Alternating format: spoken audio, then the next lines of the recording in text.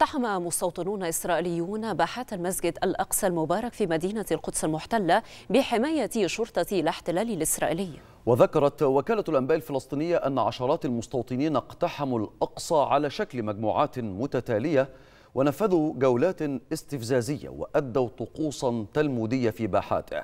وأشارت الوكالة إلى أن قوات الاحتلال شددت من إجراءاتها العسكرية في البلدة القديمة من مدينة القدس ونشرت عناصرها عند بوابات الأقصى وفرضت قيودا على دخول المصلين.